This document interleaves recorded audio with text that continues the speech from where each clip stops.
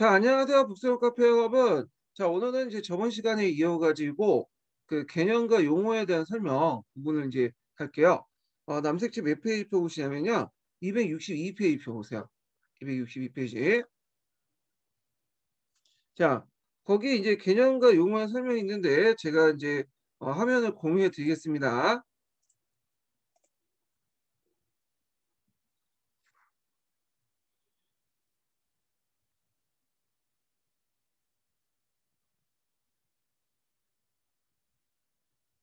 예, 오늘 화면 공유 기능이 잘 되네요. 예.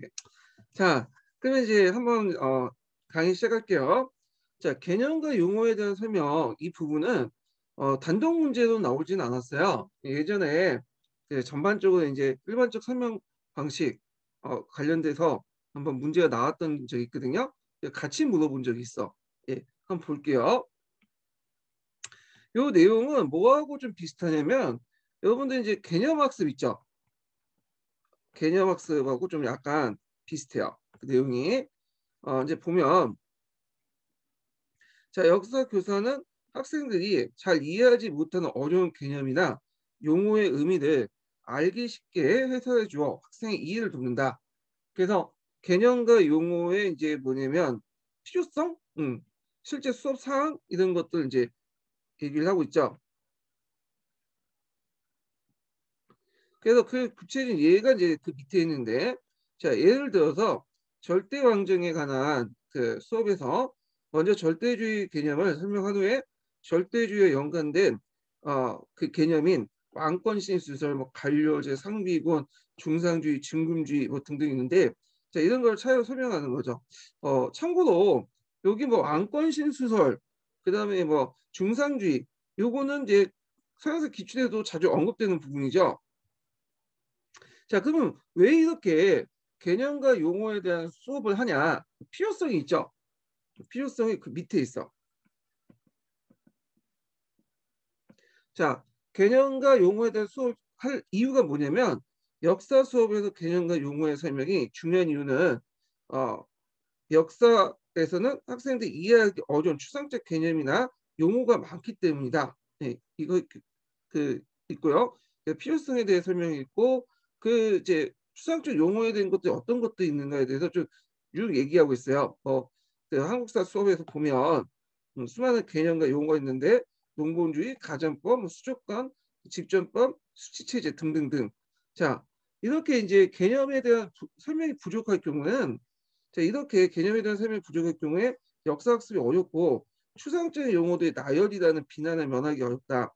자 이렇게 볼 때 개념과 용어의 설명은 역사적 설명 중에서 가장 기본적인 설명 방식이라고 할 수 있다.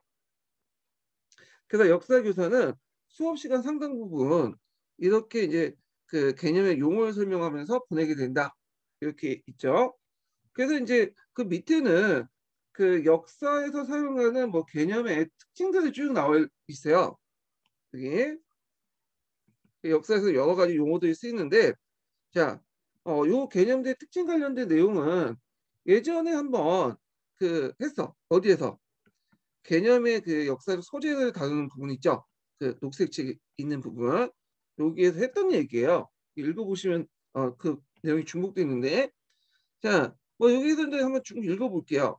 자, 이러한 개념들, 그러니까 이제 앞에 있었던 역사적 개념들 있죠. 뭐 과학적 개념, 변화, 어, 발전, 인과관계 등등등 본질적 개념과 관련된 것 등 여러 개념들은 시대에 따라 사람에 따라 다른 의미로 사용하고 어, 또한 우리가 일상적으로 쓰는 개념들 가운데 학자들 일치된 정의를 내린 개념이 찾기 없다.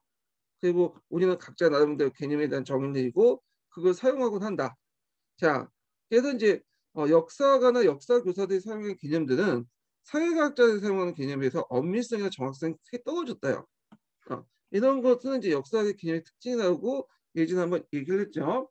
자, 그러면 실제 이제 수업에서 어떤 방법을 갖고 이렇게 개념을 활용하냐, 아, 그러니까 개념과 용어에 대한 어떤 어떻게 어, 활용하냐. 이런 것들이 이제 있는데 여기에서는 이제 아, 세 가지를 제시하고 있어요. 그래서 뭐 역사적 사실 중에 공통된 형성을 찾아내서 그 당시 이제 이상적인 그 형태의 수업 모델을 따른 설명, 그 다음에 개념의 내포적인 정의와 그리고 외연적인 정의를 이용하는 방법, 개념의 속성과 관련된 여러 가지 사례나 비유를 활용하는 방법 등등을 이제 제시를 하고 있는데 자 한번 좀 볼게요. 첫 번째 이제 이용 사례를 볼게요. 자, 첫 번째 이용 사례는 자, 개념이나 용어를 설명하는 교사는 어떤 역사적 사실 가운데 공통적인 형상을 찾아내어 이상적인 형태의 설명 모델을 만들고 그 설명 모델에 따라 설명하게 된다. 자, 요걸 이제 설명 모델을 좀 어렵게 말하면 이념형이라고 해. 그 이념형 막스 베버라는 사람이 창시한 거죠. 사회학에서 나오는 용어인데 그러니까 이제 예를 들어서 우리가 봉건제도라고 하면 여러 유형의 봉건제도가 있잖아요. 근데 교과서나 통론에서는 이 봉건제도 모든 유형을 다르지 않아요. 그래서 대개 이제 봉건제도 하면 어, 서유럽의 봉건제도, 특히 프랑스나 이런 지역에서 실시한 봉건제도를 주로 다르죠. 그래서 여러 가지 모형 그 여러 가지 사례 중에 제일 우리가 알고 있는 흔히 대표적인 사례들을 뽑아가지고 설명 모델을 만드는 그런 방식으로 이제 하고 있죠. 그래서 이제 그 밑에 보면 봉건제도와 관련된 어, 예를 들고 있어요. 예를 들어 해가지고 자 그러면 이제 한번 읽어볼게요. 자 예를 들어 봉건제도에 관한 설명하면서 봉건제도란 봉신이 주군에게 신서와 충성의 맹세를 하고 주군이 봉신에게 봉토를 수여하면서 서로 계약을 맺고 주종관계 이런 제도라고 설명하는 것이다. 물론 중세 유럽 국가나 지역 가운데 이러한 설명 모델에 부합하지 않는 봉건제도를 가진 국가나 지역도 있다. 그러나 역사교사는 이러한 국가나 지역의 차이는 일단 배제한 채 죽음과 봉신, 신서와 충성, 공토와 계약관계 등 봉건제도의 기본적인 속성을 중심으로 한 어, 봉건제 이상적인 모델을 설정하고 이러한 모델을 가지고 봉건제도가 무엇인지 설명한다. 대개 서양사에서 이상적 봉건제도의 모델은 아까 얘기한 것처럼 프랑스 같은 나라들이 이제 어, 둘 수 있죠. 자, 그 다음에 두 번째 볼게요. 두 번째 이제 활용 사례를 보면 개념과 용어에 관한 설명을 효과적으로 하는 방법 중에 하나는 개념의 내포적 정의, 외연적 정의를 어, 이용하는 방법이다. 자, 요거 많이 들어봤죠? 뭐 개념의 내포적 정의, 외연적 정의. 이거는 뭐예요? 개념의 그 구성과 관련돼서 있죠. 그래서 개념의 대표적 정의에서 속성, 그 다음에 외연적 정의 사례 이렇게 이제 어, 얘기를 하잖아요. 얘가 이제 여기 있는데 자 어, 얘를 읽어보면 예를 들어 시민혁명을 설명하면서 시민혁명은 절대 왕조를 타도하고 법률상 자유와 평등을 누리는 시민사회 건설하기 위해 어, 시민 계급이 주체가 되는 일으킨 혁명 어, 그래서 개념의 속성을 중심한 내포적 정에 나온 이러한 그 어, 시민혁명은 영국혁명, 미국혁명, 프랑스혁명이 포함된다 해갖고 외연적 정의를 걷는 방식이다. 이때 이제 영국혁명, 미국혁명, 프랑스혁명은 사례에 속하죠. 근데 여러분들 이제 요거는 좀 파, 악을 해주세요. 시민혁명의 내포적 속성이 있죠. 네, 시민혁명과 절대 왕족을 타도하고 법률상 자유와 평등을 누리는 시민사회 건설을 위한 시민계획 주체가 되는 혁명 아, 이건데 자 요거 시민혁명의 어떤 개념의 속성 내용 좀 파악을 해주세요. 이게 예전에 2차 기출문제에 나왔어요. 개념 학습할 때. 개념, 그 개념 학습 때, 개념 학습 때 시민혁명의 속성을 쓰시오. 아, 이렇게 이제 어, 내포적 정의를 쓰시오. 이런 그 문제들이 나왔거든요. 물론 시민혁명의 내포적 정의를 쓰는 거는 참 어려운 문제야.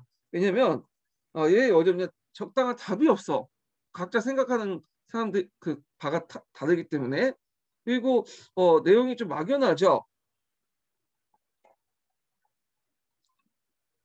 근데 제 생각에는 이 사람이 역교훈 교수고 하다 보면 네, 분명히 이제 시민혁명의 내포적 정의는 요 예문에서 어, 뭐냐면 입각해갖고 답을 설정했을 것 같아요.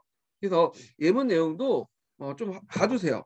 음, 가끔씩 어, 월자비가 있어요, 보통. 자, 그 다음에 넘어가서 3번을 보죠. 3번.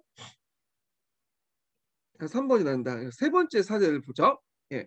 자, 세 번째 사례를 보면 교사는 또 개념의 의미를 알기 쉽게 해서 개념의 속성과 관련된 여러 가지 사례나 비유를 적절하게 활용하는 경우가 있다. 세 번째 활용 사례죠. 그래서 사례, 뭐 비유 이렇게 있는데 자 이제 여기 보면 어, 아까 얘기한 것처럼 이제 12혁명은 이제 의미를 설명하기 위해서 우리나라 4.19 혁명이나 6월 민주항쟁 그리고 소련은 붕괴 후 동력국 각국에서 파도처럼 퍼져나갔던 소련 민주 사례, 어, 혁명 사례를 이제 이용하는 거 이런 것들을 볼 수가 있죠. 자 그러면 개념과 용어를 이용할 때의 장점을 보죠. 장점이 두 가지를 제시를 하고 있어요. 자, 여기 보면 자, 첫 번째 장점은 자, 개념에 대한 설명은 역사에서 복잡하고 추상적인 개념에 대한 이해를 촉진시켜 학생들 하여금 내용을 쉽게 또는 체계적으로 이해해 줄 수 있다. 이게 이제 첫 번째 장점이라고 볼 수 있죠. 그래서 이제 여기도 이제 나온 것처럼 어, 두 번째 장점도 이제 보면 네, 학생들은 역사적 사고에 촉진시키는 효과를 거둘 수 있다. 음. 그래서 예전에 한번 얘기했, 얘기했지만 뭔가 학습 효과를 써가면 모두의 역사적 사고의 촉진 웬만하면 다 걸려들어. 예. 이게 제가 이제 생각하는 게 얘기하는 게 아니라 역교원 교수님들이 실제 교수님이 어, 팁을 줬대요. 그 학생들에게 역사적 사고력 모르면 그냥 역사적 사고력 쓰라고 모르시면 그냥 역사적 사고로 쓰시면 돼요.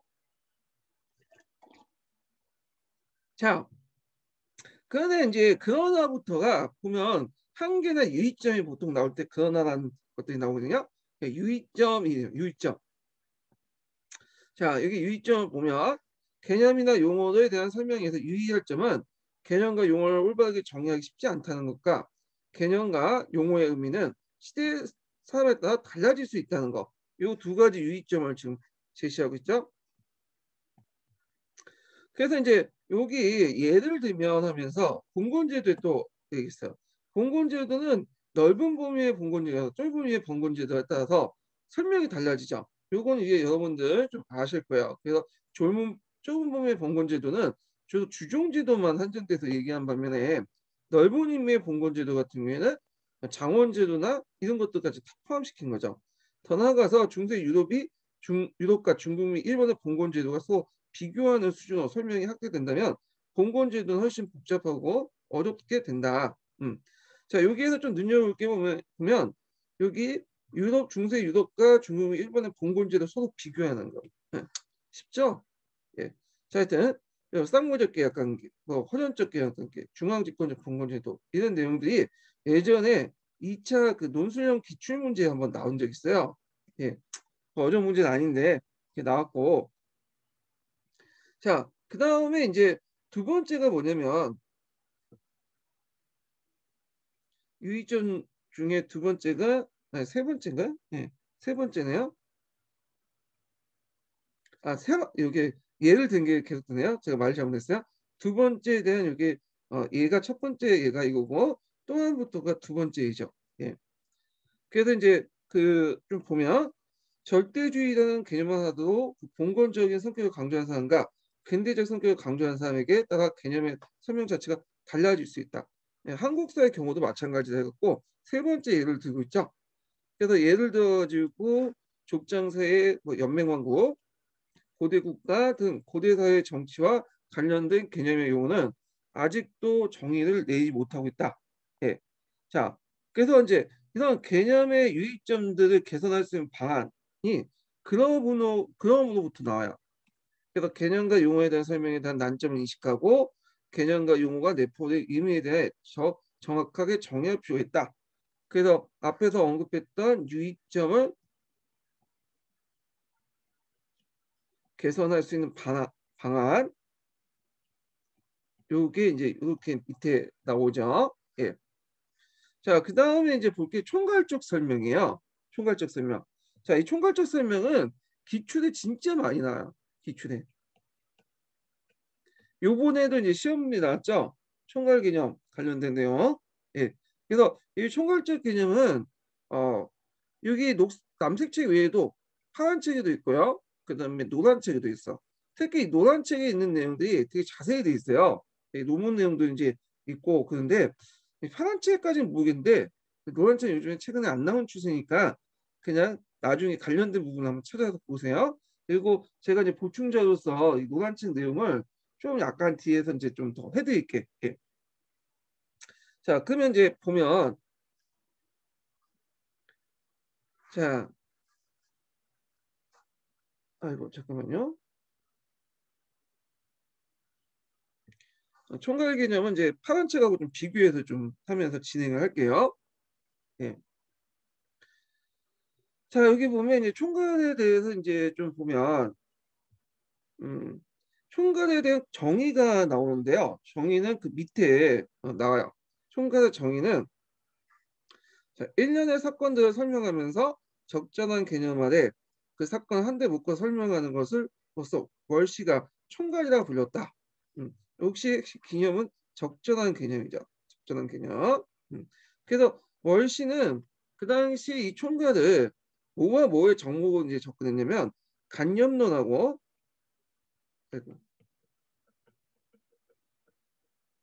그 다음에 실증론의 어떤 정목으로 이제 접근해서 둘이의 장점을 합쳐놓은 거야. 예. 물론 간년론의 장점을 합쳐놓았다고 해서 간년론 100% 받아들인 것도 아니고 실증의 장점을 받아들였다고 해서 실증의 100% 뭐냐면 받아들인 건 아니야. 각각의 또 차이점도 있어요. 예. 자, 그래서 이제 이렇게 월시가 이런 식으로 이제 개념을 만들었고 이 총괄적 설명은 여기에서는 이제 그 일상적인 일반적인 설명 방식으로 되어 있지만 실질적으로는 다른 책에서는 과학적 설명 방식이 한 분류 되어 있어요. 그래서 약간 일반적인 설명 방식하고 이제 많이 쓰이기 때문에 여기다 배치시켰지만 그거 좀 알아주시고요. 자 그러면 그와 관련된 얘가 요 윗부분에 있죠. 자 한번 읽어보면요. 1936년에 시틀러가 라이다트의 점령한 사건을 설명하면서 시틀러가 권력을 장악한 후 추구해온 침략 전쟁들, 즉 군비 축소의 거부, 국제연맹으로부터 탈퇴, 오스트리아 합병, 주텐트의 합병 등과 관련시키 설명한 것이다. 그래서 이와 같은 일련의 사건들은 자기 주장과 영토 확장이라는 개념으로 설명할 수 있다. 음. 여기에서 이제 총괄 개념은 자기 영, 주장과 아, 영토 확장이야. 그럼 여기에서 이제 좀 보면 외연적인 것보다는 좀 내면적인 기준을 통해서 묶었다는 걸 수 있죠. 보통 개념이라는 것은 눈에 보이는 어떤 객관적 기준을 갖고 묶어요. 어, 원인과 결과를 분석한 다음에 근데 여기는 의도와 동기 같은 내면적인 기준을 가지고 그 묶거든요. 그러다 보니까 뭐가 빠졌냐면 원인이 빠졌어. 원인. 왜냐면 원인은 객관적 상황을 판단해 갖고 원인을 이제 제시를 해야 되는데 이건 저 내면적 기준을 가지고 묻기 때문에 어, 이런 것들이 원인 빠져 있어요. 총괄 개념의 특징이 그걸 이제 볼 수 있는 게 파란 책에 있는 내용에서 볼 수 있는데 자 파란 책 내용을 좀 볼게요. 예, 총괄 개념의 특징이 좀 설명돼 있어. 여기 보면 자 총괄 개념 첫 번째 이제 특징을 보면 자, 총괄적 설명은 어떤 사건이 그 시대에 전개되고 있는 일반적 움직임의 한 부분을 이해하려고 한다. 그런데 여기에서 일반적 움직임이라는 것은 어떤 목적을 실현하기 일련 계획적인 동향이다. 아, 이때 계획적인 동향은 뭘 의미하냐? 의도와 동기를 얘기한다. 이렇게 이제 보시면 돼요. 색이 너무 짙네. 음. 자, 그래서 이제 쭉 읽어보면 따라서 총괄적인 그 설명에 관심을 가지는 것은 역사 사건을 일으키는 인간 내적 동기다. 예, 아까 얘기한 내적 동기죠. 외적 기준이 아니에요. 자, 결국 그 총괄은 어, 내적 기준을 이제 묶었기 때문에 어떤 인과적 설명이 아니라 원인과 결과 설명이 아니라 그 사건의 실체와 가정에 대한 설명이에요. 이게 되게 중요해. 이게 기출대에 자주 운용돼서 나오거든요. 그래서 총괄적 설명하고 보통 이제 인과적 설명을 이제 구분하냐면 그 원인이 있느냐 없느냐 가지고 구분하시면 돼요. 그래서 총괄적 설명은 그 원인이 있는 거 없고 인과적 설명 원인이 있는 거죠.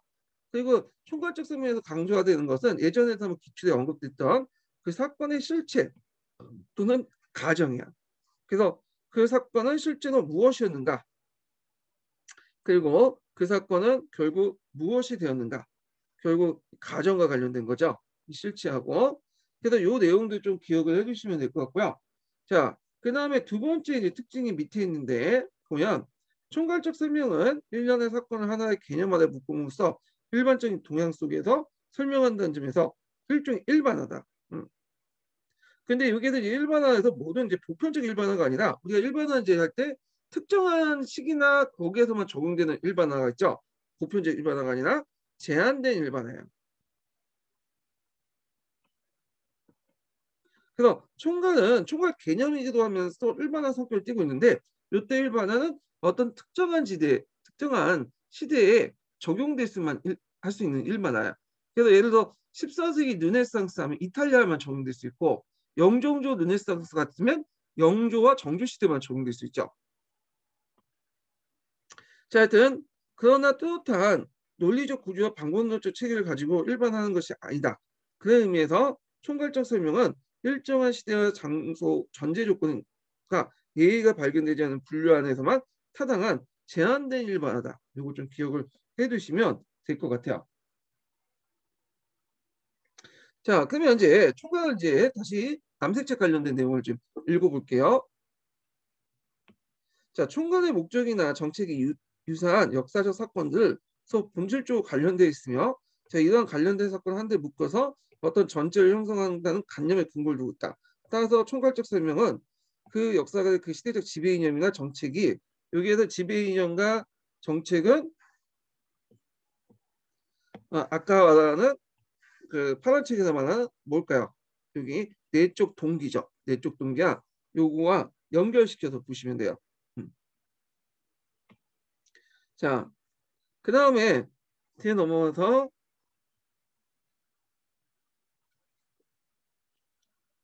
자 찾아내고 이러한 이념적 정책을 공유하고 있는 사건들을 탐색하며 그 사건들 사이에 연관관계를 조사하겠다. 그리고 어, 이러한 이념과 정책을 연관시켜 그 시대의 일반적 동향을 파악하며 이를 바탕으로 그 시대의 사건을 한, 한, 함께 묶을 수 있는 개념을 구성하게 된다.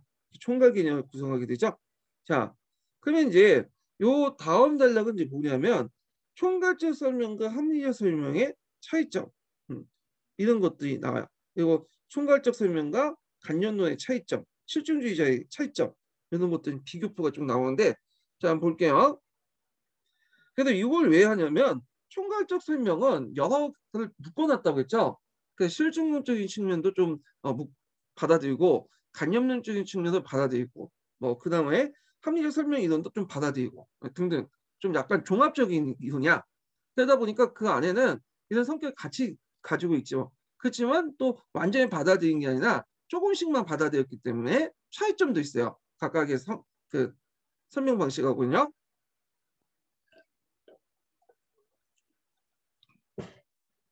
자, 그러면 이제 한번 볼게요. 첫 번째로 이제 비교 대상이 되는 게 합리적 설명이에요. 자, 여기 보면 총괄적 설명하고 이제 합리적 설명은 이제 비교하는데 총괄적 설명은 인간의 목적, 동기, 의도를 가지고 인간의 행위를 설명한다는 점에서 합리적 설명과 동의돼요. 이거는 공통점이죠. 자, 그러나 합리적 설명은 합리적 설명이 개별적 인간 행위에 초점을 둔 데만 해서 개별적 인간 행위 이에 반해서 이제 총괄적 설명은 개별적 인간 행위저보다는 그 행위 때문에 발생한 사건들과 그 시대적 일반적 움직임에 관심이 있어. 그러니까 그 행위들이 유기적으로 통합돼서 놓은 어떤 시대적 추세 이런 것들에 관심이 있어요. 음. 자, 그러므로 총괄적 설명에는 어떤 인간에게가 초래한 사건과 다른 사건과의 관련성을 찾아내요. 일정한 개념의 그 사건을 한데 묶는 데 관심이 있다. 예, 한 개인이 아니라 그 개인이 모여서 어떤 흐름을 이루는 그런 것들을 이제 볼 수 있는 거죠. 자, 그래서 예를 든 것이 그 밑에 있는 뭐 르네상스 관련된 내용을 어, 예를 든 것 같은데 자 예를 들어서 15세기 때 이탈리아에서 발생한 문학가와 예술가들이 인간 중심적 문화 운동을 르네상스라는 개념 아래 현대 묶어 설명하거나 자 19세기 프랑스에 비롯한 유럽의 여러 나라들이 시민의 자유와 권리를 쟁취하기 위해서 일어난 모든 운동을 자유주의라는 운동을 통해서 어, 묶어서 설명한 것이 그렇다. 그래서 여기 르네상스 뭐 자유주의 이런 거, 민족주의 이런 것들은 다 총괄 개념에 속하죠. 어떤 내적인 기준에 의해서 묶어낸 거니까. 자, 그 다음에 이제 두 번째 볼 것이 뭐냐면 이 총괄적 설명하고 실증주의와 관련된 그 비교예요. 예. 그래서 보면 총괄적 설명은 사건의 인과관계를 법칙적으로 설명하는 데는 관심이 없고 그 사건이 서, 어, 성격을 밝히는데 관심이 있다는 거.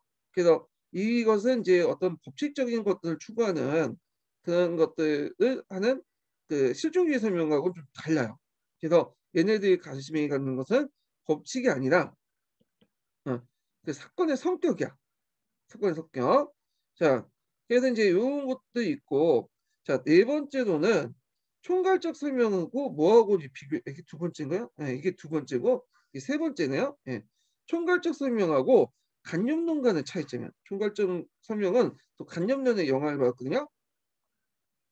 그렇지만 차이점이 있어. 총괄적 설명은 여러 사건을 묻기 위해서 일정한 개념 안에 어, 사건을 분류하는데 초점을 맞춘다면 개별적인 인간에 대한 제사고를 강조하는 간접론적 설명과 또 달라요. 영향을 받았지만 어, 총괄적 설명은 그 어떤 사건의 흐름 이런 것들에 관심이 있는 데 반해서 간접론자들은 그 개별적인 인간 행위에 관심이 있어. 합리적 설명 이론도 개별적인 인간 행위에 관심 있죠. 행위 설명 이론도. 근데 이거는 이제 뭐에 영향을 받으면 합리적 행위 설명 이론자 이 간접론에 영향을 받았기 때문에 이건 뒤에 좀 얘기할게요. 그래서 이제 여기에서는 쭉 세 가지 얘기를 했어요. 총괄적 설명이 어, 그 당시 어, 뭐와 이제 차이가 있는가? 총괄적 설명이 첫 번째로는 합리적 설명 이론과 어떤 것들이 차이가 있고 공통점입니다. 그 다음에 총괄적 설명이 실증론과 어떤 차이가 있는가? 그 다음에 총괄적 설명이 간접론과 차이가 있는가? 이런 것들을 좀 얘기했고요. 제가 이제 보충 자료에 어, 총괄 설명과 단원 설명의 방식 차이점 해가지고 이 노란 책에 있는 내용을 좀 적어놨어요. 그래서 간접론과 이제 실증론의 측면에서 이렇게 좀 적어놨는데 보이시죠? 예. 그래서 이제 간접론에서는 공통점은 인간의 행위와 합리적 설명을 하고 있고 인간의 의지와 동리를 파악하려고 했지만 차이점이 되게 많아요. 여기 차이점은 이제 남색 책에 있는 내용과 겹쳐, 겹쳐 있는데 일련의 사건과 일련의 의도와 동기 안에 묶어서 설명했다는 거. 개별적인 사, 그 행위가 아니라 개별적인 행위 자체보다는 인간의 행위를 역사적 맥락 속에 파악한다. 요거는 요거 연결시켜서 보시면 돼요. 그리고 상대적으로 볼 때 간연론 같은 경우에는 좀 인간의 의도나 이런 동기 내면적인 걸 강조하죠. 근데 여기에서는 중요한 역사 변화와 제도를 가지고 설명했던 건좀 외면적인 걸 강조하는 거예요. 내면적인 거다. 그 다음에 제사구가 아니라 제사구는 이제 머릿속에 떠오르는 것을 얘기하는 건데 역사를 사회 바탕으로 파악한다. 이건 좀 약간 막지는 않는 것 같은데 왜냐면 감년론도 제사구나 제어나 다 사회 바탕으로 한 건데 일단 노란쪽에 그렇게 적혔으니까 적어놨어요. 자 실정론 같은 경우에는 공통적이 자 여기에서는 좀 약간 좀 그 녹색책하고 다른 얘기였는데 총괄적 설명이 여기서는 법칙적 설명인데 관심이 없다고 되어 있는데 노란책에는 어 일반 법칙에는 좀 관심이 있다고 했어요. 물론 여기에서 일반 법칙이라는 거는 실증론에서 얘기하는 포괄 법칙이 아니에요. 포괄 법칙. 예, 이거는 주운 일반화 법칙. 어떤 상황과 맥락에서만 적용될 수 있는 일반 법칙이라는 거죠. 그래서 재산계에서는 이 사, 건과 인과관계를 법칙적으로 설명하는데 관심이 없다는 것은 법칙 자체에 대해서는 관심이 없는 게 아니라 우리가 말하는 이제 포괄 법칙 같은 거죠. 모든 걸 적용할 수 있는 포괄 법칙에 관심이 없다. 그렇게 이제 좀 재해석해 갖고 받아들이시면 될 것 같아요. 그리고 제가 이제 그 밑에 총괄학습에서 탐구학습 적용해 가지고 관련된 내용들을 또 적어놨어요. 그래서 어, 예전에도 한번 얘기한 것처럼 총괄학습하고 탐구학습이 또 적용될 수 있죠. 탐구학습은 항상 어느에 이제 들어갈 수 있는 거야 다. 예. 그래서 뭐 주제 설정, 가설 형성, 자료 수집, 관련사실 발견 겸증, 일관된 의도인지, 마지막으로 이제 보통 탐구학습 일반화인데 요게 특징이 총괄학습 축출이야. 그래갖고 이제 여기 보면 뭐 학습 목표부터 해갖고 쭉 있는데 요거 그냥 눈에 한번 발라두세요. 제가 이거 왜 집어넣냐면 예전에 기출과 관련돼 갖고 한번 나, 나온 적이 있어요. 적. 요표 자체가 이제 노란 책이 있거든요. 노란 책에 보면 총괄 개념을 가지고 학습 활동 내용이 있어요. 그래서 강의식 수업이 있고 그 다음에 또 하나가 그 탐구학습 모형이 있는데 이 총괄 개념과 탐구학습에 적용 관련된 모델이 그 있었고 이거와 관련된 것들이 이제 언급된 것이 예전에 객관식 기출인가 그때 잠깐 언급됐기 때문에 제가 이제 참고 참고하시라고 제가 보충 자료 올려놨어요. 자, 그러면 이제 계속 한번 읽어보죠. 자, 그 다음에 마지막 문제는 어, 총괄학습의 어떤 사용 방법 같은 것들을 이제 쭉 얘기하고 있어요. 네, 교실에서. 자, 여기 보면 총괄을 위한 설명 방식은 역사학습에서 광범위하게 이용되고 있다. 자, 그래서 우리가 역사 교, 교과서에서 흔하게 볼 수 있는 중요한 주제들, 예를 들어서 절대주의, 그 다음에 시민혁명, 자유주의, 민족주의 같은 서양사에 흔히 볼 수 있는 개념들이나 한국사에서 나타난 신학운동, 개화와 보수의 갈등 등 개념화에 관련된 사건을 포스터에 설명하는 방식은 모두 어디에 속한다? 총괄에 설명한다. 네, 총괄에. 그래서 이제 어 여기에서 이제 보는 게 뭐냐면 어 총괄의 학습의 장점이나 총괄의 학습 어, 여기까지 학생들로부터 해갖고 이제 총괄 학습의 장점이 나오는데 첫 번째 장점 요번에 기출문제에서 그거 쓰고 나왔죠. 자, 학생들은 총괄을 통해 특수한 사건을 일정한 이념이나 동향에 관련시켜 이야기하며 그 사건의 상호관계를 전체적인 일부 파악하게 된다. 자, 그래서 이걸 통해서 사건들의 관계를 좀 더 의미 있게 해줄 수 있다. 그 다음에 두 번째는 또한부터 시작했고 이제 두 번째 장점이 나오는데 총괄은 특정한 이념이나 정책 혹은 동향을 중심으로 잡다한 사건을 묻고 이를 통해서 사건들의 의미를 부여하는 과정을 참여함으로써 학생들 역사적 사고를 기할 수 있다. 예전에 말했지만 모르면 무조건 역사적 사고로 하나씩 다 들어가 있으니까 어, 꼭 쓰시고요. 자, 세 번째로는 자, 세 번째 총괄은 사건들을 종합, 분류하거나 자료를 정리하는 과정에서 역사학습의 이용할 수 있다. 요게 이제 있고요. 자, 요게 이제 세 가지 나오는데 여기 이제 잠깐 파란 책을 좀 보세요. 파란 책도 총괄학습의 이제 장점들이 쭉 나와요. 예. 그래서 이제 쭉 읽어보시면 요거 내용과 거의 겹쳐요. 근데 이제 겹치지 않는 부분이 있어. 요걸 이제 찾아내셔야겠죠. 여기에서 좀 한번 보면 자 마지막 부분 또한부터 보죠. 여기 총괄적 설명으로 하여금 어, 과거의 구체적인 모습을 되살리고 과거 사람들이 생각하고 행동했던 방식 이해할 수 있다. 요게 이제 뭐냐면 네 번째 장점이 될 수 있겠죠. 네 그러면 우리가 여기에서 왜 과거 사람들이 생각했던 방식을 이해할 수 있을까요? 이건 뭐냐면 총괄 개념이라는 자체가 어떤 외적인 기준을 바탕으로 한 게 아니라 내적인 기준을 바탕으로 한 거죠. 일련의 어떤 사상이나 동기, 의도 이런 것들. 자, 그 다음에 어, 다시 이제 남색책 돌아서 잠깐 또 볼게요. 그러면 총괄학습이 맞느냐? 그건 또 아니죠. 총괄학습은 또 단점이 있어. 단점. 음. 그래서 이제 단점이 여기 나오는데 단점 보면 총괄적 설명 이념이나 정책 혹은 지향적인 공된 사건들에 적용되고 어, 동일한 시기와 지역에 일어난 사건들이 하더라도 그런 요소를 공유하지 않는 사건은 정의할 수 없다. 자, 예를 들어서 이제 자유주의 민족주의라는 총괄 개념이 있다고 그래요.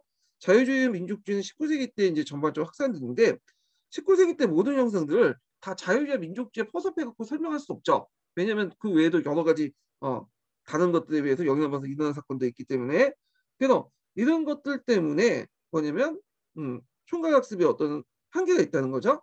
그래서 이게 첫 번째 한계고 자 그러나부터인데 이게 그러나가 맞는지 모르겠어요. 이제 왜 문맥상이 그러나가 아니라 그리고라는 것들이 그리고 왜냐면 이 장, 단점의 문제를 또 더 보충, 더 이어갖고 얘기를 하기 때문에 그러나만은 좀, 그, 좀 그런 것 같아.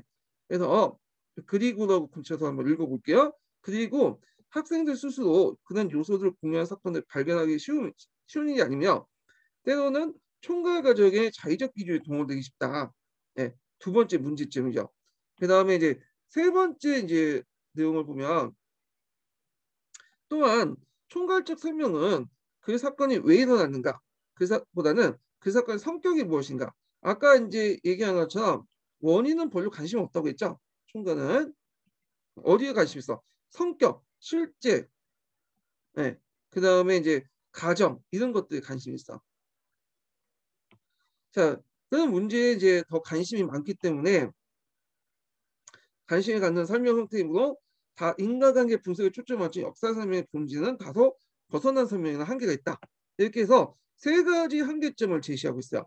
그러면 파란 책의 내용을 볼게요. 파란 책에도 여기 이제 보시면 어, 이게 그 한계가 있는데 약간 좀 다른 부분이 있어요. 네, 여기 보면 완전히 다르네요. 내용이. 자, 첫 번째는 자, 모든 중요한 역사적 사건이나, 사건을 총괄에 의해서 설명할 수 없다는 거. 그 다음에 두 번째로는 자, 인간의 이념이나 목적 외에 제도사, 자연적 조건 등에 대해서 고정한 것 같이 역사적 가정을 총체적 파악하는 것은 자세가 필요했다. 자, 왜 그럴까요? 총체적 파악이 잘 안 되는 것은 인간의 어떤 의지나 동기 같은 내면적인 것들만 강조하기 때문에요. 내면적인 눈에 보이는 것보다는 자 그래서 이거는 이제 두 가지를 좀 파란색에 있는 내용을 어, 더 추가하시고요. 자 참고로 이건 논란책에 좀 있는 내용인데 자 여러분들이 총괄적 수업을 할 때 그러면 이걸 보완할 수 있는 방법이 뭘까요? 총괄적 설명 단점은 아이고, 예. 자 단점을 보완할 수 있는 방법은 이거죠. 예. 비교, 그 총괄적 설명할 때 어, 원인과 배경을 같이 제시를 해야 돼요. 왜냐하면 총괄적 설명 원인과 어, 이런 그 배경에 대해서는 언급을 안 하잖아요. 그리고 인과적 그 설명하고 총괄적 설명이 헷갈린다. 어, 어, 그걸 구분할 수 있는 방법 있죠. 원인이 있느냐 없느냐에 따라서 구분될 수 있어. 원인이 있으면 인과적 설명이 되는 거고 원인이 없으면 총괄적 설명이 되는 거야. 예. 쉽죠? 어, 그걸 구분을 하셔야지 기출 문제 풀 수 있는 것도 있거든요. 자, 그래서 이제 이렇게 이제 좀 받고 자, 그 다음에 세 번째 이제 보죠. 비교적 설명 보죠. 예. 자, 이 비교적 설명은 그 시험 문제에 자주 나와요. 근데 이거는 이제 비교 설명은 이제 그 앞에 비교학습 부분 있죠. 비교학습 부분. 그 비교학습 부분하고 연결돼 있어요.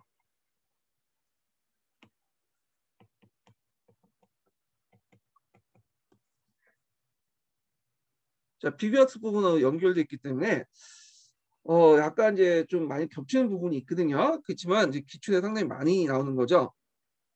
그래서 대개는 유추 다음에 비교과 거의 어, 1, 2등을 거의 차지하거든요. 비교하고 유추가.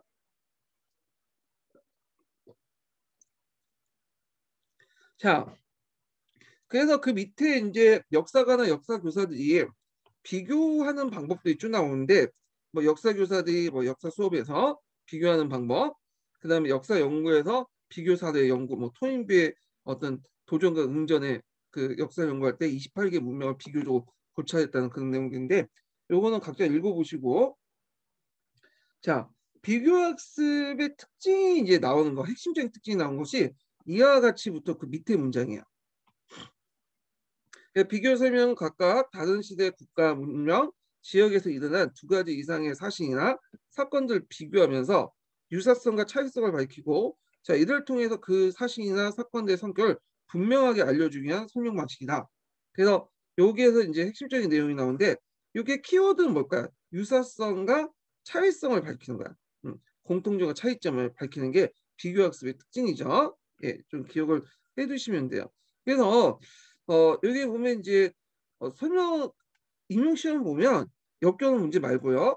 한국사 이제 상황사 할 때 뭐 어떤 것을 비교해 보시오 이렇게 하면 어떤 분은 유사성과 차이점을 굳이 밝히려고 하더라고. 음, 밝히지 마세요. 이때 비교는 그냥 차이점만 얘기하시면 돼요. 왜 그냐? 어, 한국사 교사나 한국사 교수나든지 서양사 교수는 비교라는 개념의 어떤 내용을 몰라. 그러니까 차이점을 얘기하고 하는데 그냥 차이점을 얘기하시오, 그냥 비교하시오 이런 말을 그냥 혼동해서 쓰는 것 같아. 네. 이번에 기출 문제도 좀 그렇고 어, 멜핀 원장하고 대원장하고 뭐 어, 비교하시오 뭐 그렇게 이제 해서 혼돈해서 쓰는 것 같은데 어, 그건 좀 눈여겨 보셔야 돼요. 왜냐하면 우리가 지금 얘기하고 있는 역교나 어떤 용어나 이런 것들이 어, 한국사나 서양사 교수, 동양사 교수에 다 인지하고 들어가서 문제 낸다고 생각하면 안 돼요, 절대. 이 사람들은 연구 저기 어, 전, 전공 분야가 아주 다른 사람들이에요. 예. 그 다음에 거꾸로 역교는 교수들도 한국사, 서양사 이런 것들 상대적으로 잘 모르기 때문에 어, 여기 예문 좀 보시면 알겠지만 좀 약간 역사적 팩트가 안 맞는 게 있어요. 예, 이런 것들은 좀 어, 고려해서 보셔야, 예, 보셔야 돼요. 자, 그러면 한번 또 여, 볼게요. 자, 역사 연구에서도 비교 방법을 선호하는 역사가들이 많은데 그 대표적인 사람이 그 밀이에요, 밀. 미래 엄밀히 말해서 이제 역사학자는 아닌데 역사가들이 미래 일치법과 차이법을 많이 활용한다고 해요. 근데 일치법과 차이법은 이제 뭐 굳이 설명할 필요 없는데 여기다 설명했는데 뭐 딱 보면 알죠. 일치법은 어, 공통점을 얘기하는 거고 네. 차이점 차이법은 차이를 얘기하는 거죠. 그래서 이제 한번 볼게요. 자, 일치법이라는 것은 설명의 대상이 모든 사례에서 나타난 공통된 요인의 형상을 강조한 것이다. 반면 차이법 두 개 이상의 사례에서 대부분 요인이 비슷하면서 어떤 결정적 차이가 있을 때 그 차이점의 형성 원인을 파악하는 것이다. 그래서 차이법 차이점에서 여기에서 그 때 하는 방법이 차이점이 있을 경우에 그 차이점 형성 원인을 파악하는 거예요. 차이만 파악하는 게 아니라 그 원인만 파 원인도 같이 파악하는 거죠. 예를 들었어. 이 예를 꼭 읽어보셔야 돼. 이 예문은 어 역교돈 예문에서 중요한 거 아니냐? 서양사에서 한번 기초에 나왔어요. 이 예문이. 그러니까 이제 뭐 역교동 관련된 문제가 아니라 서양사 관련된 문제에서 한번 낸 거죠. 자, 유럽의 중세후기 나타난 도시들은 대부분 상업의 부활, 부활 상인과 수급자의 자, 대두 길드의 발생, 자유와 자치권의 확보 등의 공통점을 가지고 있기 때문에 이러한 요인들은 중세의 도시의 일반적 특색으로 간주될 수 있다. 예. 그래서 여기에서 이제 얘기하는 것은 아까 얘기한 뭐예요? 네, 일치법이죠. 여기까지 일치법이야. 글씨가 엉망해서. 자, 그러나부터가 중요해. 요거 한번 줄치면서 읽어볼게요. 북유럽 도시들이 공공기족을 배제했던 반면에 남유럽 도시는 공공기족과 상공업적 상공업자 공부를 추구했다는 점에서 차이가 난다. 요게 예전에 그 논수형 2차 문제에서 나왔어요. 여기에 북유럽 도시들은 대부분 어떤 도시예요? 독일 도시들, 독일, 북유럽 도시들이죠. 북부 독일 주식. 근데 요때는 이때 봉공귀족들은 성, 성직자들이 많았어요. 성직자는 자체적 무장 조직을 가지고 있지 않았거든요. 그러다 보니까 그때 상공업자들 용병을 동원해서 뭐 쫓아내갖고 이제 그 도시를 장악했죠. 자, 근데 남유럽은 좀 달랐어요. 남유럽은 주로 대표적인 이탈리아인데 북부 이탈리아 도시들 있죠. 이 북부 이탈리아 도시는 종종 귀족 세력들이 너무 강했어요. 그리고, 그리고 자체적 군사력도 있었고. 그러니까 뭐 어, 봉공귀족들하고 상공업자들이 이제 어떤 상공업자들 봉공귀족들을 자기 체제에 포섭을 시켜가지고 같이 공존을 했던 거야. 그래서 이런 점이 차이가 나. 그래서 중세 도시의 꼬문 운동이 두 가지 형태가 있는데 어, 북유럽형과 남유럽형 있죠. 그래서 이 중세 도시라는 것보다는 여기 중세 도시의 꼬문 운동이라고 보시면 되죠. 예, 자치 운동.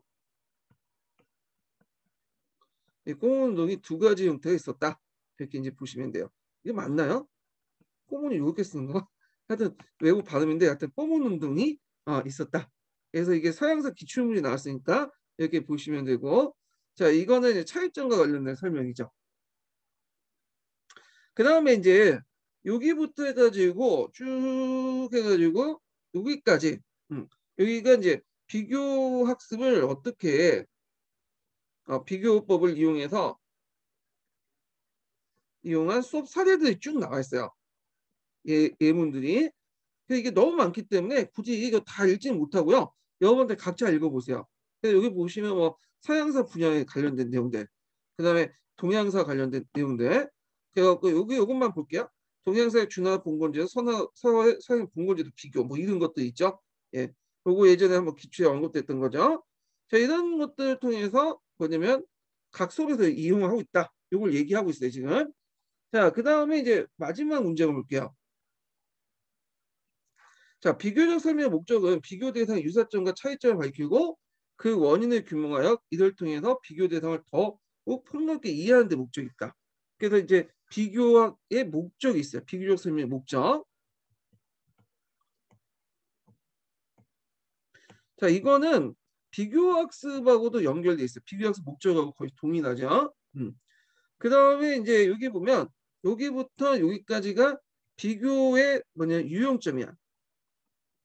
비교 설명 유용점인데 이건 당연히 비교 학습의 유용점과 또 연결돼요. 그러니까 비교적 설명을 통해서 학생들은 왜 그렇게 유사성과 차이성을 성이 발생했는가에 대한 사고하는 것을 탐구한 능력을 기르며 비교의 대상이 되는 사실이나 사건의 성격을 깊이 이해하게 된다. 요게 장점, 유용점인데 요게 예전에 한번 기초에 언급됐어요.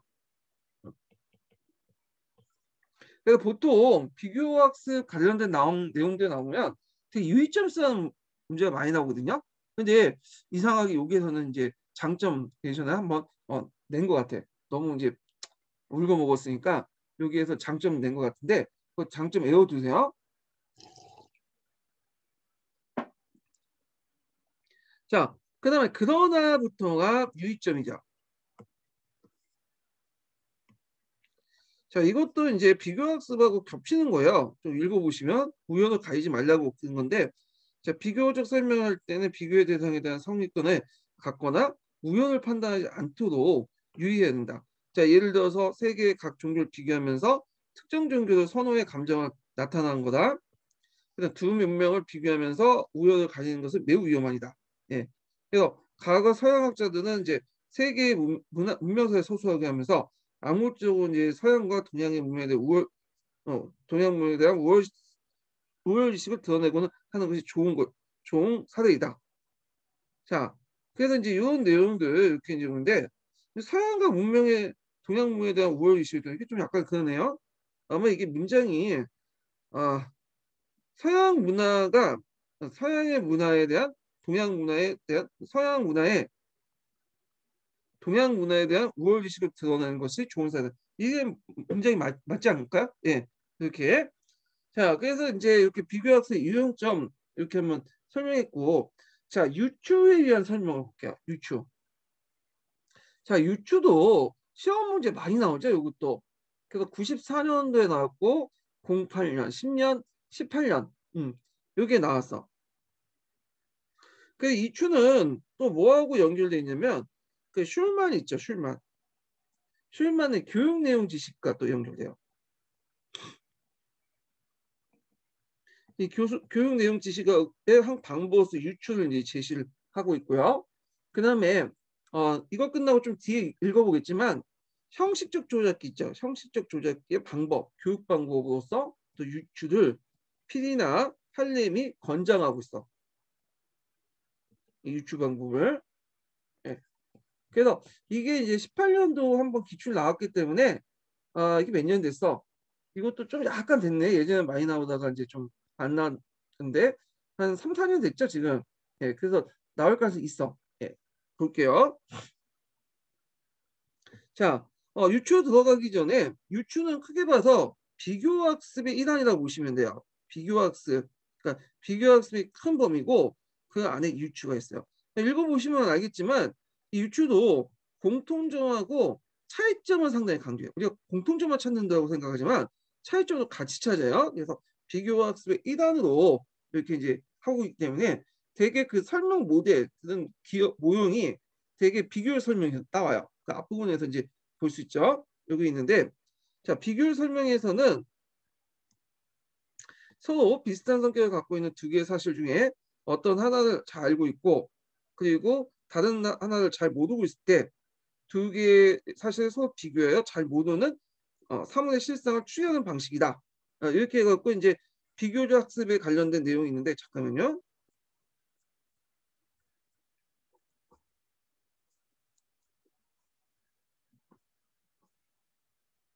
음.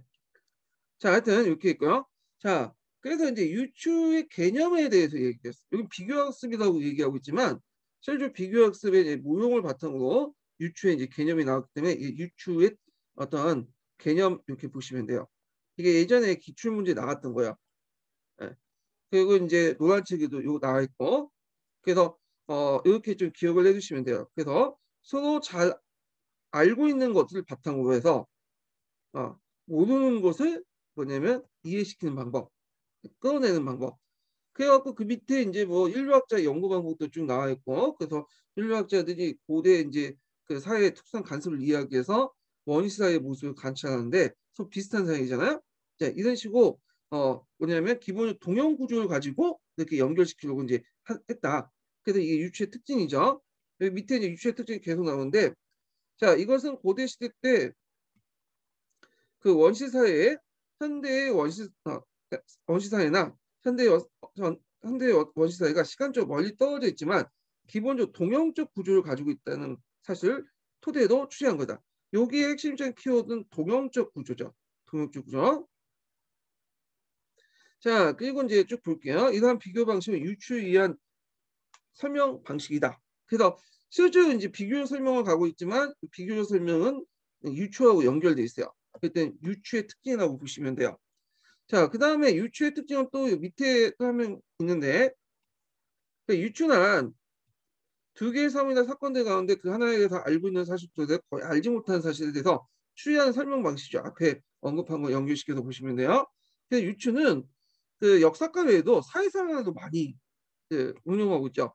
그래서 예를 들어 갖고 이제 그 어떤 특정한 환자를 치료했던 의사가 과거에 이제 비슷한 그 어, 것을 바탕으로 그 환자들의 특징을 바탕으로 현재 학생 현재 다른 환자의 치료에 뭐냐면 어, 인용하는 방법 예측하고 그걸 어, 치료하는 방법도 유추에 입각한 거죠. 예, 이런 것도 있고 그 다음에 어, 그 학교에서 유추 활용법이 쭉 나와 있어요. 여기부터 그래서 이건 학교에서 이제 실제로 이제 유추를 어떻게 하, 활용하고 있는가 요와 관련된 내용인데 자 유추에 의한 설명할 때는 교사는 학생들에게 친숙한 사물이나 일반적인 경험 혹은 역사적 사례를 바탕으로 학생들이 잘 알지 못하는 역사 사실을 추진하는 방식으로 설명을 이끌어낸, 이끌어낸다. 자 이제 예를 들고 있는데 자 예를 들어 끈질긴 생명을 생명력을 갖고 온갖 역경을 극복하는 잘하는 야생화와 민주주의를 서로 비교하면서 민주주의가 현, 현당한 과정을 통해서 발달했음을 추리할 수 있다. 이것 또한 유추의 방식이죠. 근데 이거에 대해서는 이거는 이제 비역사적 사례를 이제 가지고 했기 때문에 이걸 동양인가 동양책인가 거기에서 동양책에도 유추에 대한 설명이 나오는데 유추가 아니라 비유다. 어. 이렇게 얘기를 하고 있더라고요. 네, 이걸 비유라고 얘기하고 있는데 모르겠어요. 하여튼 이건 뭐 그 동양책에 나와 있는 거니까 그냥 유추 알아두세요. 자, 그래서 이제 이와 같이 유추는 새롭게 이해하고자 하는 사건이나 그와 유사한 기준의 사건들을 공유하는 동연, 유사성 관계를 이용하는 것이다. 자, 이때 그 사건에 관한 기존의 지식이나 경험을 해당하는 것을 기반 사례라고 하고요. 기반사를 이용해서 새롭게 이해하고자 하는 사례는 호전사, 호적사라고 한다. 요거 명칭 좀 기억을 해두세요. 기반사례, 호전세. 원래 잘 알고 있는 기존 지식, 경험 같은 거는 기반 사례. 그리고 기반사를 이용해서 새롭게 이해하고 하는 호적 사례. 이렇게 나눠볼 수 있죠. 용어 개념. 이렇게 분류, 아, 설명을, 용어 개념을 이제 이렇게 개념화 시키면. 자, 그래서 이제 쭉 보면 어, 역사 설명에서 유추의 이제 이용 방법 좀 나와 있어요. 그 역사 설명의 유추는 강범위하게 이용된다. 역사 수업 시간에서 교사나 학생들이 잘 모르는 사건을 설명하면서 학생들이 익숙해 알고 있는 사건을 통해도 사건의 설명 성격이나 진행 상황을 좀 더 뭐냐면 쉽게 설명하는 경우가 많다. 그래서 이제 요 내용들이 이제 쭉 있는데 자 로마 공화정 말기에 외국에서 값싼 농산물을 아, 로마 공화정 말기에 외국에서 값싼 농산물을 수입한 것이 로마의 자영농의 몰락을 재촉한 중요한 요인을 설명하기 위해서 교사는 오늘날 값싼 농산물 수입으로 초래한 농민 생활 어려운 점 기반사를 하겠다. 그 앞에 새로운 사례는 포적 사례죠. 어, 로마 사례는 1929년 미국의 월가의 주가 폭락을 사태로 시작돼 경제공황이 세계 경제에 미친 영향을 설명하기 위해서 교사는 오늘날 가끔 재현되는 월가의 주, 주가 폭락 상태를 상태가 우리나라 비롯한 전 세계 주식시장에 어떤 미친 것에서 기반사고 있다. 그러니까 1929년에 미국 월가의 주가 폭락 상태, 대공황을 일으킨 사태, 사, 태죠 이거는 포적 사례가 되는 거야. 포적 사례가. 그래서 이제 이렇게 기반 사례와 포적 사례를 바탕으로 해갖고 이제 유출한다. 이렇게 좀 기억을 해두시면 되고 그 사례에 대해서 이제 두 가지 예를 든 거예요 지금. 자, 그러면 이제 어 계속 유추 이용한 필요성을 대해서 얘기할게요. 자, 역사적 설명에서 유추가 표현 이유는 무엇인가? 그것은 학생들이 배우는 역사 사실이 이미 지나가버린 가버린 과거의 사실로 학생들이 직접 관찰하거나 경험할 수 없기 때문이다. 자, 유추의 이유죠. 그래서 지나가 버린 사건이기 때문에 학생들이 직접 관찰하거나 경험할 수 없기 때문이죠. 자, 네, 그래서 유추의 이유에 대해 설명하고 있고요. 자, 그러므로 생소한 역사적 사실들을 학생들에게 좀 더 쉽게 이해하기 위해서 학생들이 이미 알고 있는 사실을 익숙한 경험을 통해서 새로운 역사적 사실에 대한 추이여도 유도할 필요 있다. 음. 자, 그래서 이제 유추의 활용 활용함으로써 그 이제 뭐냐면 어떤 효용성이 있는가? 요 내용들이 이제 있는데 자, 첫 번째가 이제 뭐냐면 그 유추 활용으로서 교사는 교사는 새로운 역사적 사실들에 대한 학생들의 관심과 흥미를 유발시킬 수 있으며 이를 통해서 학습 효과를 높일 수 있다는 것. 예. 두 번째로는 자 유추에 의한 설명에서는 역사 사실을 비교, 대조, 분석 등으로 고차적 활동이 요구되는데 이를 통해 학생들 역사적 사고를 촉진할 수 있다. 여기도 이제 역사적 사고 이런 내용이 딱 나와 있네요. 그래서 이게 이제 뭐냐면 그 유추를 할때 이제 장점들이 나와요. 장점. 근데 시험 문제는 장점보다는 여러분들 이제 좀 기출문제 분석하신 분은 알겠지만 유의점이 많이 나죠. 교사가 그거 할 때 유의점. 음. 자, 유의점이 관련된 내용이 기출문제에 많이 나온다. 기출문제. 이 유의점 부분은 여기도 있고 그 뒷부분에 어, 형식적 조작기들 할때 유추 활용법이 있어요. 거기도 있어. 이걸 왜 따로 이렇게 어, 내용을 분리했는지 잘 모르겠는데 하여튼 그렇게 이제 있어요. 자, 첫 번째 유의점 뭐냐면 자, 유추는 이제 학생들에게 친숙한 경우로 출발해야 된다. 그래서 이제 어, 그 이유는 학생들이 이미 알고 있는 기존 지식이나 경험을 기반사로 삼아 학생들이 이해하기 어려운 프로젝트를 이해하기 위해서 할 수 있다. 근데 이제 여기에서 문제가 되면 어, 기반사의 학생자를 모를 경우에는 당연히 포적사를 통해서 유추가 불가능하죠. 이해가 불가능하죠. 따라서 유추에 의한 설명을 도입하기 앞서 유추의 대상이 되는 사건들에 관련된 학생의 선행학습 정도를 파악해야 돼요. 예. 그래서 이 친숙한 경험에서 출발하기 위해서는 필수적으로 뭘 해야 된다? 예. 선행학습 정도를 파악해야 돼. 그래서 이게 유추가 실패한 사례와 관련된 내용이 어디 있냐면 노란 책에도 나와 있어요. 노란 책에. 노란 책에 이제 어떤 식으로 이제 나왔냐면 이제 나중에 한번 노란 책을 찾아보세요. 그 중학교 2학년 국사 수업에서 도사가 고요 말기의 농장의 성격과 그 학대 과정에서 노마의 나티푼디움과 관련시켜서 이제 설명하려고 했어요.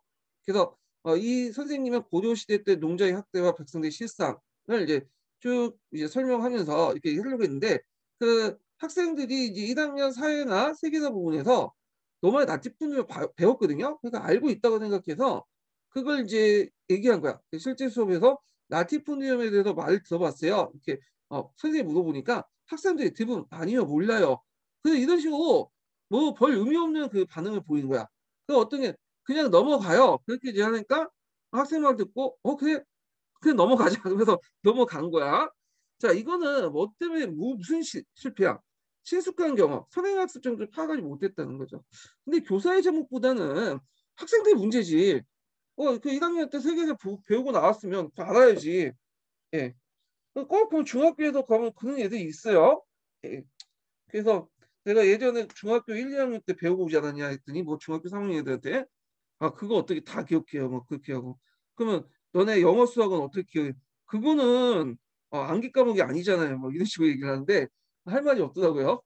자, 그래갖고 이제 하여튼 이렇게 이제 있고 두 번째 이제 뭐냐면 유의점 볼게요. 두 번째 유의점하고 그 다음에 그 밑에 세 번째 유의점은 이걸 염두에 주셔야 돼요. 자, 유추라는 것이 아까 유사점과 함께 모두 같이 한다고 했죠? 차이점도 같이 밝히는 거죠. 비교학습이 1단이에요. 유추도 크게 보면. 그래서 요걸 염두에 두고 이제 봐야 되는데 자, 첫 번째는 유사점과 관련된 내용이야. 자, 교사는 유추의 대상이 공통적으로 갖고 있는 성격을 잘 파악해야 된다.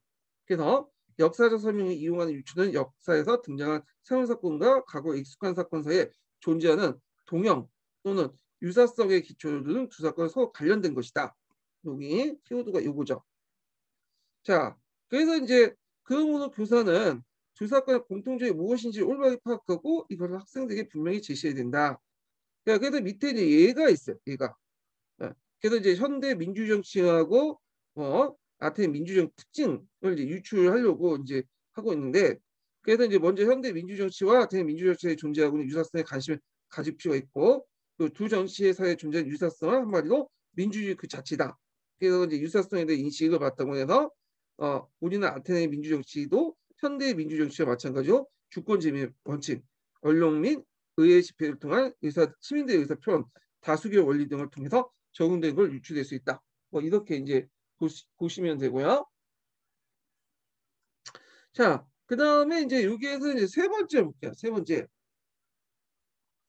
세 번째 차이점과 관련된 거야. 자, 이 유추하는 것이 차이점도 강조되는 거죠. 교사는 유추에 대해서 갖고 있는 차이점에 대해서 관심을 가져야 된다. 차이점. 그럼 왜 차이점에 대해서 관심을 갖고 있냐면 왜냐부터 나오죠. 이유가 자, 두 사건이 사이의 차이점에 대한 지식을 토대로 우리는 새로운 사건이 내포된 고유한 특징이 무엇인 걸 유추할 수 있기 때문에 예. 그래서 차이를 통해서 그 점을 유추할 수 있죠. 그러니까 예를 들어 남자 여자의 차이점 공통점도 있지만 점에서 남자의 고유한 특징과 여자의 고유한 특징들을 이렇게 차별화시킬 수 있잖아요. 이것도 마찬가지야. 그래서 여기 내용을 이제 그 예가 있어요. 아테네 민주정치에 또 예를 들고 있는데 그래서 아테네 민주정치의 특징을 살펴보는 역사 수업의 경우 학생들은 아테네 민주정치의 특징을 나타내는 여러 가지 사실을 학습하면서 이런 사실이 왜 아테네 민주주의의 특징적 모습이 되는지 제대로 이해를 못하는 경우가 많다. 그러나 아테네 민주정치, 현대 민주정치의 차이점. 그래서 이제 그 아테네 집권 민주정치와 현대 제2제 정치 그리고 아테네 불평등, 불평등 참정권과 현대 불평등 평등한 참정권을 비교해 설명하면서 아, 그래서 아테네 민주정치 특징을 내포된 성격의 특징과 문제점을 충분히 이해할 수 있죠. 예, 비교를 통해서 이해가 가능한 거야. 뭐 시대사 할 때도 그런 거죠. 뭐 조선시대, 고려시대 비교해야지 이제 그 조선시대 특징이나 고시의 특징이 확연하게 드러나잖아요. 그 특징이라는 것이 어, 양쪽은 공유하고 있지만 어, 한쪽이 더 많이 공유한 아, 양쪽은 공유한 적도 있겠지만 어, 그 어떤 그 뭐냐 특징이 그러니까 특징이라는 게 양쪽에 공유된 점도 있지만 차이점이 부각될 때 이걸 특징하고 얘기하거든요. 예. 자, 하여튼 그래서 이제 이것은 이것은 현대 민주정치와 아테네 민주정치의 차이점을 대한 지식을 바탕으로 아테네 민주정치의 특징을 유출시킨 거다. 어. 그래서 공통점과 함께 특징을 유추하기 위해서는 어, 차이점도 밝혀야 된다. 이걸 좀 기억을 해두셔야 되고요. 예. 자, 그 다음에 그 외에도 이제 학생의 자발성을 유도하기 어렵고 교사의 의도와를 유추할 수 있다는 거. 그 다음 부정적 인식의 의연성을 사전 검증하기 검증해야 된다는 거. 동형을 구하기 어렵다는 거. 이렇게 있는데 이 부분은 뒤에 있어요. 뒤에. 그 남색 책의 또그 뒤에 325페이지 부분에 있거든요. 좀 읽다 읽을 텐데 여기에서 이제 좀 더 추가하자면 아까쯤에 그 내용들 쓰시면 될 것 같고 어 여기에서 좀 더 설명한 부분이 뭐냐면 요건 남색책 내용이 있는 게 아니라 부정적 인식의 위험성을 사전에 고려해야 된다는 거야. 그러니까 유출을 할 때도 말을 조심해야 돼요. 유출을. 음. 그래서 이제 이게 예를 들어 갖고 예전에 이제 뭐 국어 시간에 어, 그 군대 가는 거는 이제 남자들은 이제 가서 군대 가서 맨날 죽이고 들어온 것들 막뭐 사람 죽이는 방법만 배우고 막 이런 식으로 얘기를 해버리고 막 다른 식으로 이제 국어 시간에 유출했는데 문제가 됐죠. 예. 그래서 이게 이제 사회적으로 문제되는 경우는 좀 피해야 돼요. 이런 등은. 자, 하여튼 이렇게 있고 그러면 그 관련된 유추와 관련된 내용이 어디에도 있냐면 325페이지에서 또 있어요. 이게 둘로 나눠져 있어. 그럼 이제 넘어가야 되는데 자, 요거 부분은 좀 쉬었다 할까요? 예, 일단은 좀 쉬었다 할게요. 요 부분은. 예. 아, 쉬기, 쉬어, 쉬기 전에 제가 검증, 그, 인증 번호를 좀 얘기해 주죠. 네, 두 번째 그 수강 인증 번호는 아, 18번이에요. 18번. 아, 첫 번째 인증 번호죠. 첫 번째 수강 인증 번호는 18번이에요. 네, 18번.